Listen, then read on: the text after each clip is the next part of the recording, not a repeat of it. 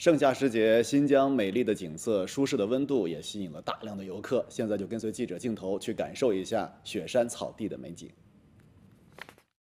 在位于新疆昆玉的昆仑山大峡谷，巍峨耸立的昆仑山与八百五十七平方公里的天然草场遥相呼应，壮美的风光、清新的空气，令慕名而来的游客流连忘返。这里的风景呢，特别的优美。景色非常迷人。除了欣赏雪域美景，高山羊也是吸引游客的一张名片。以散养为主的高山羊，肉质紧实鲜美，吸引了不少食客前来尝鲜。